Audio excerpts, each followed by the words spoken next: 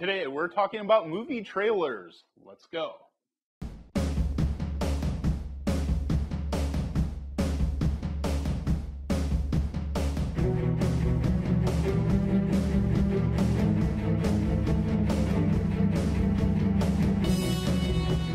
Welcome to my nerdy little corner of YouTube.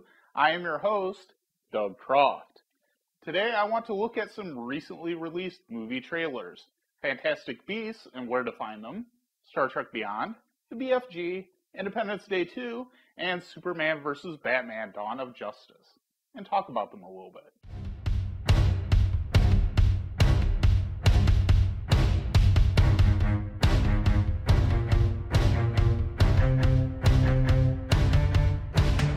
First up is Fantastic Beasts and Where to Find Them, the prequel movie to the Harry Potter franchise, starring Eddie Redmayne, Samantha Morton, Colin Farrell, and Ron Perlman.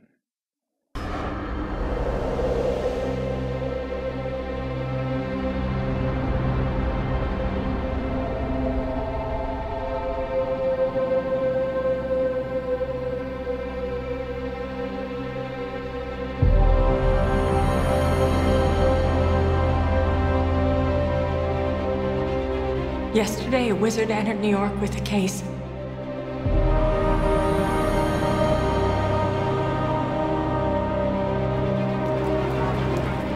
Case full of magical creatures.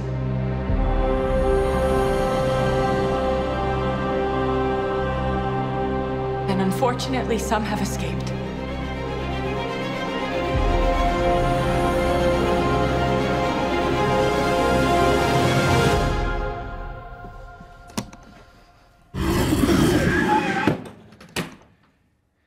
It was open?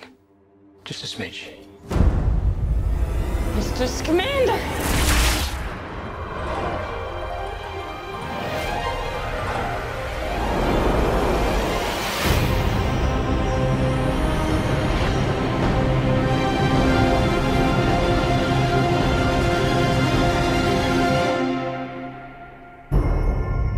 The trailer doesn't give us much footage to look at, but what there is to see is intriguing. Eddie Redmayne looks perfect for his role. The plot of the movie seems pretty simple. Creatures from the Wizarding World have escaped into New York City, and Newt Scamander has to round them back up. I'm not sure how well that will play without a villain working in opposition to him. Or maybe there is a villain and the trailer just doesn't bring it up.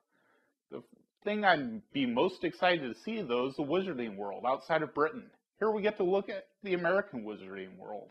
That may end up being the most fantastic part of the movie. Our next trailer is Star Trek Beyond, starring Chris Pine, Zachary Quinto, and Zoe Saldana. Is that music? It's a good choice. Hey, well played. We got no ship.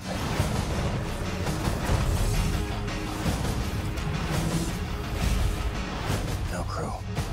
How are we gonna get out of this one? We will find hope in the impossible.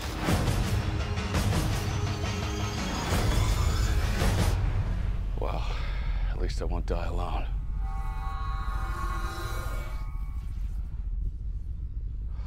Well, that's just typical.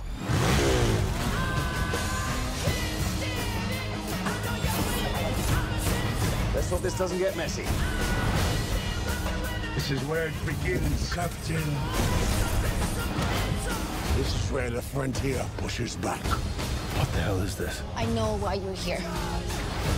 Why we are all here.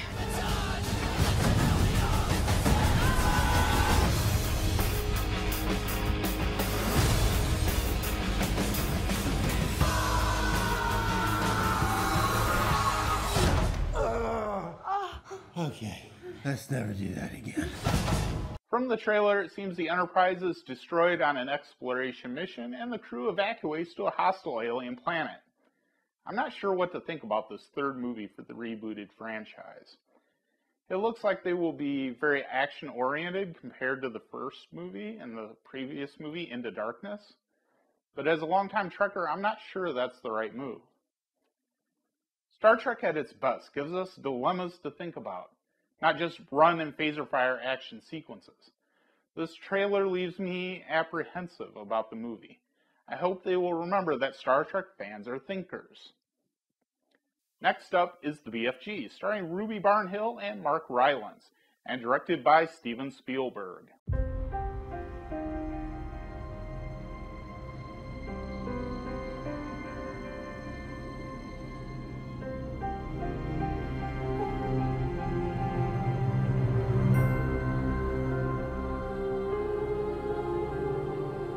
It was the witching hour when the boogeyman comes out. When people go missing.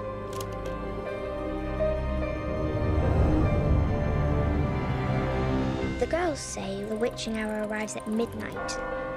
I think it comes at three in the morning when I'm the only one left awake. Like always. Like now. Never get out of bed. Never go to the window. Never look behind the curtain.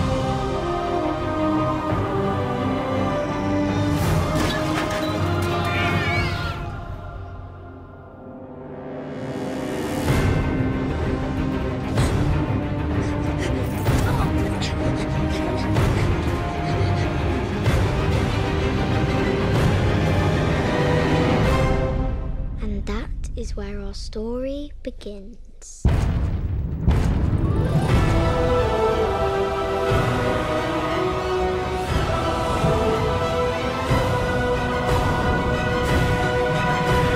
As a kid, I was a huge Roald Dahl fan and read all the books. And the first book of his that I read was The BFG. So this is a movie I've waited a very long time for. And this trailer for it was marvelous. It looks and feels exactly like I imagined it when I was reading the book for the first time as a kid. Spielberg's bona fides as a filmmaker are well established.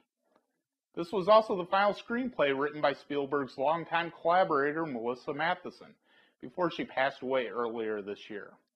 So I have to think that Spielberg will give it his all to make sure this movie stands as a tribute to her. A good trailer gives you a sense of what the final film will be like. And this one leaves me genuinely excited to think the film may be nearly as good as the book. Next, we have the trailer for Independence Day 2, starring Jeff Goldblum, Liam Hemsworth, and Bill Pullman.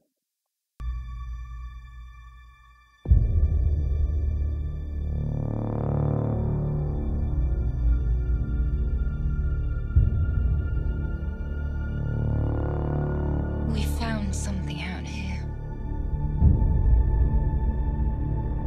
Something only you might understand. Oh my god.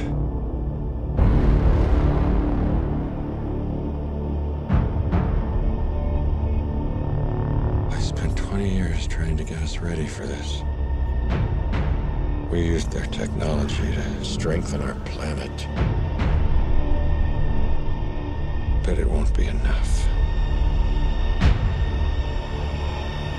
I see them in my dreams. They're coming back. Today, you will once again be fighting for our freedom. Not from tyranny, oppression, or persecution, but from annihilation. Should we win the day, the 4th of July will no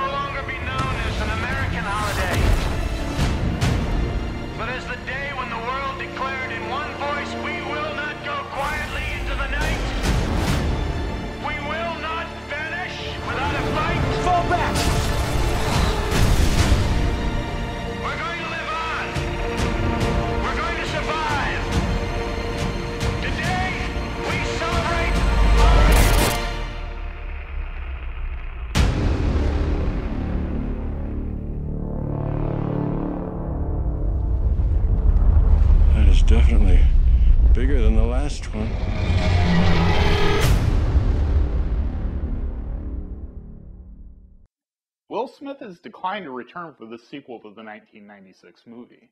I'm not sure if that meant he didn't like the script or he didn't like doing another sci fi film. but other members of the original cast are returning, including Brent Spiner, oddly, since he was killed in the first movie.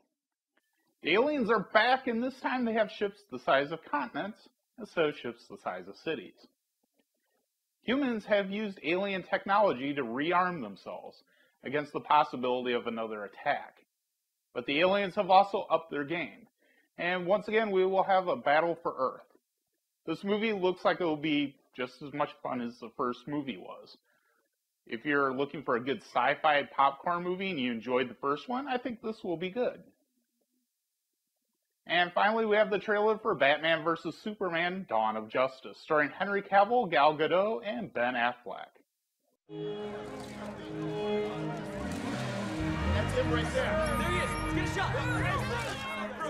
Who's that?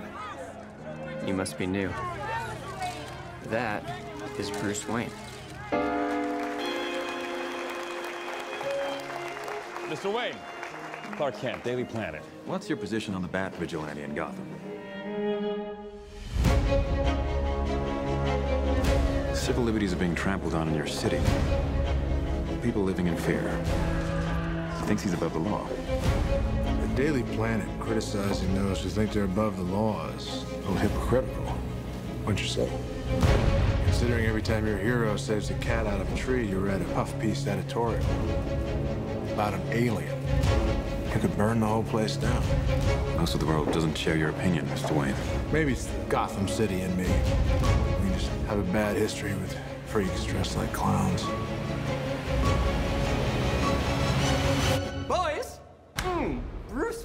Meets Clark Kent. Ah, I love it. I love bringing people together. How are we? Lex. Hi, hello. Lex, it is a pleasure. Ow! Wow, that is a good grip. You should not pick a fight with this person.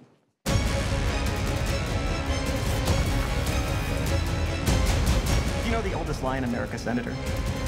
That power can be innocent. You're gonna go to war.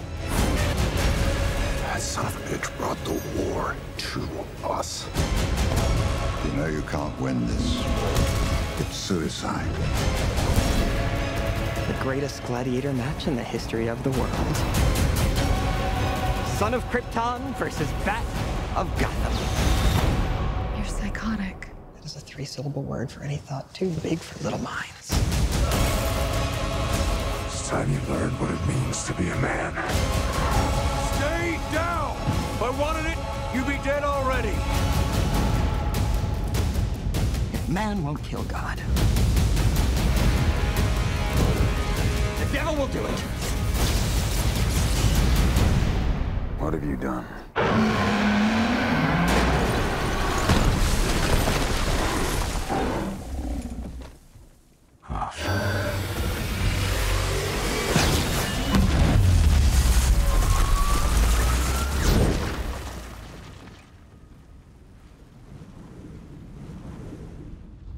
She with you? I thought she was with you.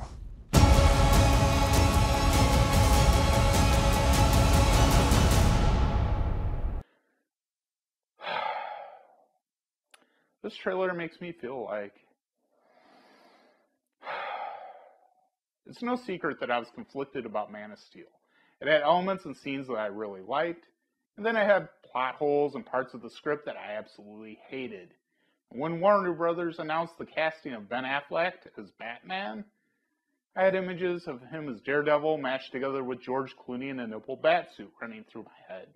Not good things. And given my feelings about Man of Steel, I was worried already. And I'll also admit I'm not a fan of Jesse Eisenberg, so the announcement of him being cast as Lex Luthor was another blaring warning siren. And in this trailer, the best thing about it is Gal Gadot as Wonder Woman, who's not even a titled character. And from our first look at Doomsday, it looks like they recycled Abomination from the Incredible Hulk movie and gave him heat vision. My hopes for this movie are quickly sinking.